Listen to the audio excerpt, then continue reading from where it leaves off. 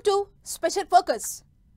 America అధ్యక్ష ఎన్నికల్లో విజయడంకా మోగించిన ట్రంప్. ఇక ప్రభుత్వ ఏర్పాటు సన్నాహాల్లో ఫుల్ బిజీ అయ్యారు.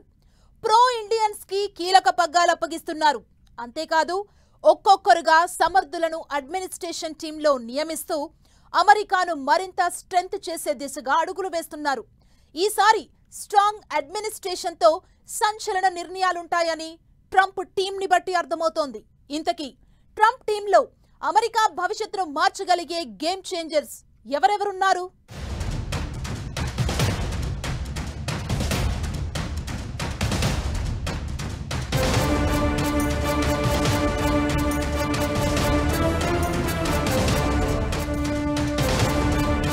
ట్రంప్ దూకుడు పెంచారు. అమెరికా అధ్యక్ష ఎన్నికల్లో తిరుగులేని విజయాన్ని సొంతం చేసుకున్న ట్రంప్. ఇక వైట్ హౌస్లో సొంత టీంను ఏర్పాటు చేసుకుంటూ పాలనలో స్పీడ్ పెంచాలనుకుంటున్నారు. ఇందులో భాగంగా కీలకమైన పోస్టుల్లో పలువురు సమర్థవంతమైన వారిని నియమిస్తూ తన మార్కు చూపిస్తున్నారు. సమర్థత నమ్మకం దేశ సమగ్రతను కాపాడే విషయంలో ఎక్కడా రాజీ పడకుండా అతిరథ మహారథుల్ని తన టీం మెంబర్స్గా చేర్చుకుంటున్నారు ట్రంప్. అలా ఈసారి గతంలో కంటే ది బెస్ట్ అండ్ స్ట్రాంగ్ అడ్మినిస్ట్రేషన్ను సంచలన నిర్ణయాలను తీసుకునేలా టీంను ఏర్చి కూర్చుతున్నారు ట్రంప్. ఇప్పటికే టెస్లా అధిపతి ఎలాన్ మస్క్ భారత సంతతి వ్యక్తి వివేక్ రామస్వామిని డిపార్ట్మెంట్ ఆఫ్ గవర్నమెంట్ ఎఫిషియన్సీ సంయుక్త సారథులుగా నియమించారు ట్రంప్. గవర్నమెంట్ ఎఫిషియన్సీ శాఖ డోజ్ అధిపతులుగా వీళ్ళను పిలుస్తారు. ప్రభుత్వ పాలనను మెరుగుపరచడం ఎక్కడ ఏది అవసరం ఏది అనవసరం గుర్తించడం వృధా ఖర్చులను నివారించడం గవర్నమెంట్ ఎఫిషియన్సీ శాఖ చేసే పని. ఇది ఓ రకంగా ప్రత్యేకమైన శాఖ. ప్రభుత్వానికి బయట నుంచి సలహాలు గైడెన్స్ ఇస్తుంది. ఎలాన్ మస్క్కు బిజినెస్ స్ట్రాటజీల్లో అపారమైన అనుభవం ఉంది. సరికొత్త వ్యూహాలతో ప్రపంచంలోనే అపర కుబేరుడిగా ఎదిగిన మస్క్ ఇప్పుడు అమెరికా ప్రభుత్వంలోనూ కీలకమైన భాగస్వామి కాబోతున్నారు.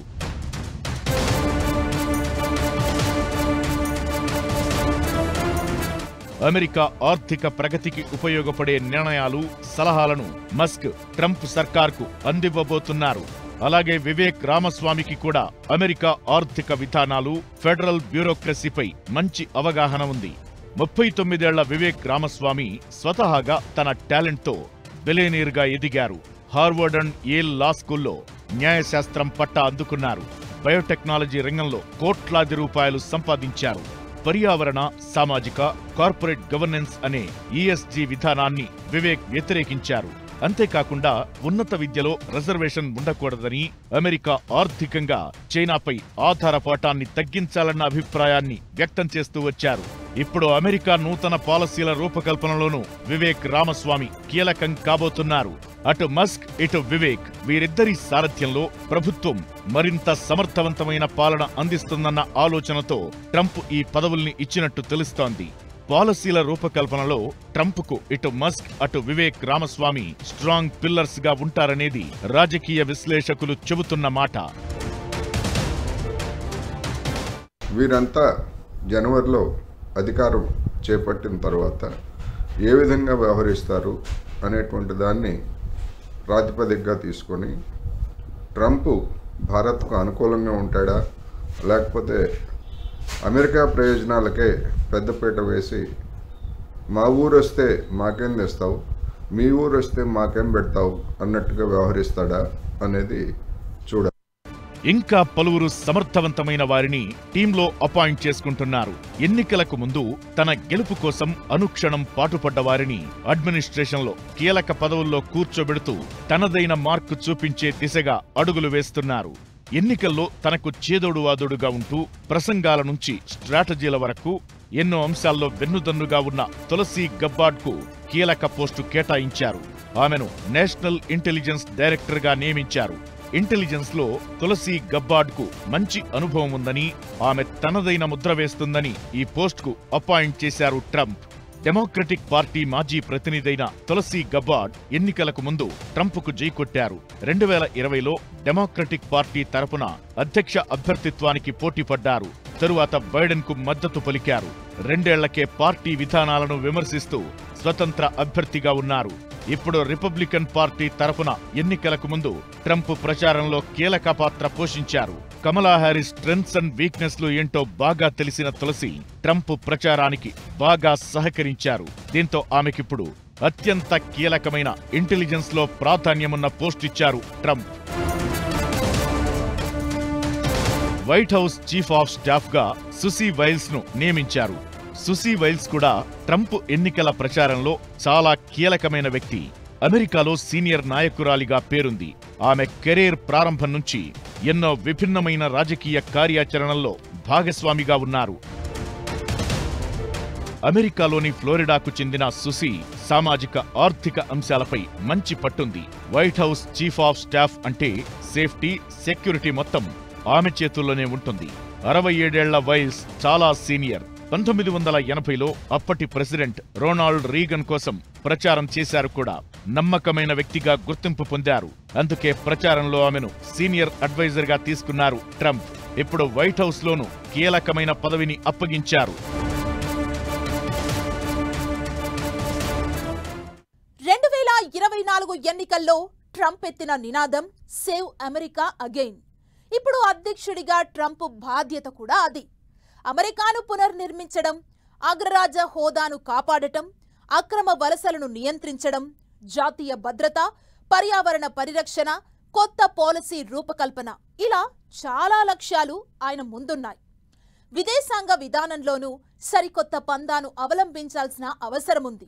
అందుకే ఆయా శాఖలకు తగిన సమర్థవంతమైన నాయకుల్ని వారికి బాధ్యతలు అప్పగిస్తున్నారు.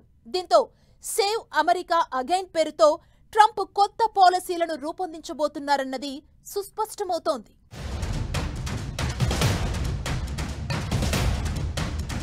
సేవ్ అమెరికా అగైన్ నినాదంతో ఎన్నికల్లో నిలిచి అధ్యక్ష పీఠమెక్కుతున్నారు డొనాల్డ్ ట్రంప్. దీంతో ముందు నుంచే వైట్ హౌస్లో సంస్కరణలకు శ్రీకారం చుడుతున్నారు. ప్రతిభ లాయల్టీ ఉన్న నాయకులను తన కార్యవర్గంలోకి తీసుకుంటూ ప్రజల నమ్మకాన్ని నిలబెట్టుకోవడానికి ట్రంప్ గట్టిగానే ప్రయత్నాలు చేస్తున్నారు.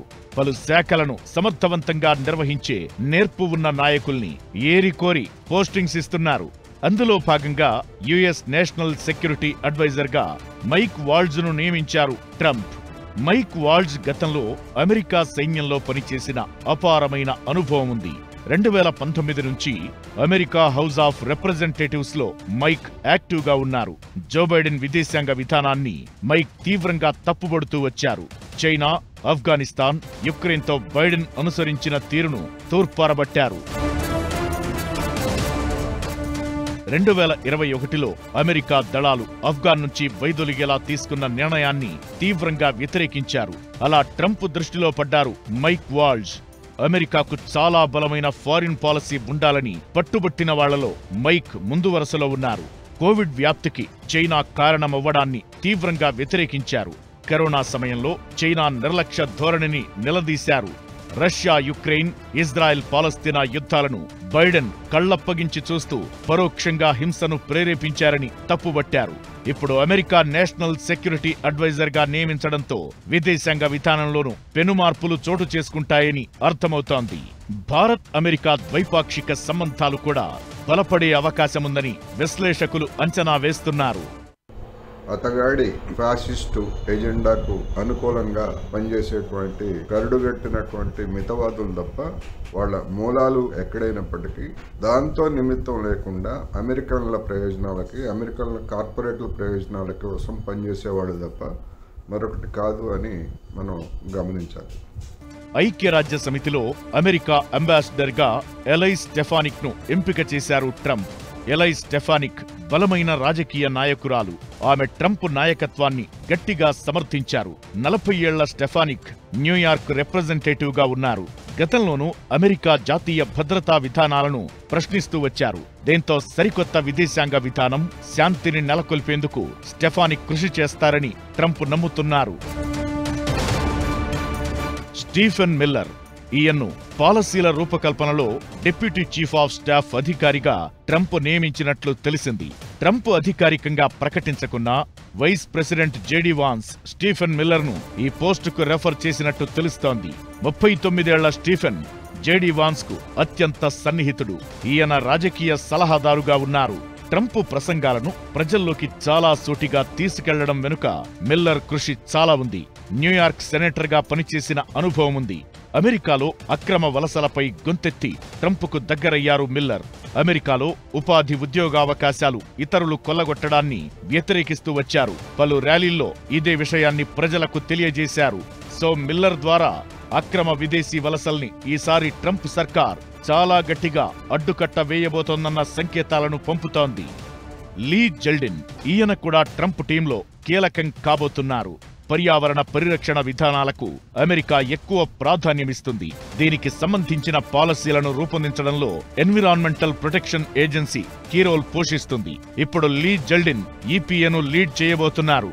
యుఎస్ కాంగ్రెస్లో బలమైన నాయకుడిగా ఉన్న నలభై నాలుగేళ్ళ లీ జెల్డిన్ మొదట్నుంచి ట్రంప్ విధానాలకు మద్దతు పలుకుతూ వచ్చారు. దేశంలో ఇంధన వనరులను మెరుగుపరచడం రవాణా విధానాలు వ్యర్థాల నిర్వహణపై ట్రంప్కు పలు సూచనలిచ్చారు గాలి నీరు ఇతర అంశాలపై లీ జెల్డిన్కు అపారమైన అనుభవం ఉంది. దీంతో పర్యావరణ పరిరక్షణ బాధ్యతల్ని ఆయనకు అప్పగించినట్టు తెలుస్తోంది.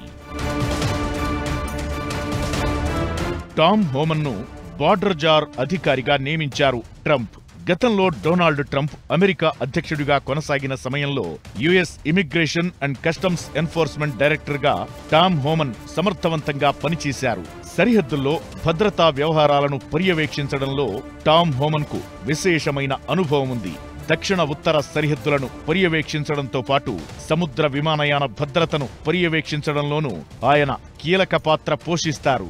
అక్రమంగా అమెరికాలోకి ప్రవేశించిన వారిని వెనక్కి పంపించే బాధ్యతలు కూడా టామ్ హోమన్ నిర్వహించబోతున్నారు. మొత్తానికి అక్రమ వలసల అడ్డుకట్ట అమెరికన్లకే ఉద్యోగ ఉపాధి అవకాశాలు మెరుగుపరచడం సరికొత్త విదేశాంగ విధానం శాంతి సామరస్యం పర్యావరణ పరిరక్షణ.